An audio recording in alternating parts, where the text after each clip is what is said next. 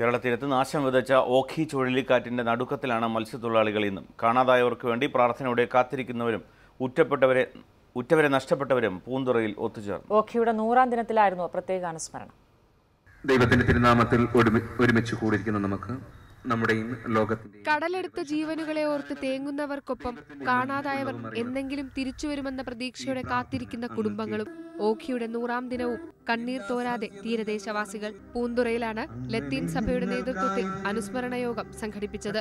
ഓഖി ദുരിതാശ്വാസ ഫണ്ടിലേക്ക് സന്നദ്ധ സംഘടനകളും സാമൂഹിക പ്രവർത്തകരും നൽകിയ സഹായധനവും യോഗശേഷം വിതരണം ചെയ്തു. അനുസ്മരണ യോഗം ഉദ്ഘാടനം ചെയ്ത D G P Jacob Thomas Ockhi ദുരിതാശ്വാസത്തിൽ സർക്കാരിനെതിരെ വീണ്ടും വിമർശനം ഉന്നയിച്ചു. നമ്മളുടെ സർക്കാരിനും ഇതുപോലെ കുറേയധികം ഫണ്ട് ലഭിച്ചിട്ടുണ്ട്. അതും ഇതുപോലെ നൂറാം ദിവസമായപ്പോൾ അവതരിപ്പിക്കുകയായിരുന്നെങ്കിൽ അതൊരു വളരെ സ്വാതന്ത്ര്യം നൽകുന്ന ഒരു കാര്യമായേനെ. ഏഷ്യാനെറ്റ് ന്യൂസ് തിരുവനന്തപുരം.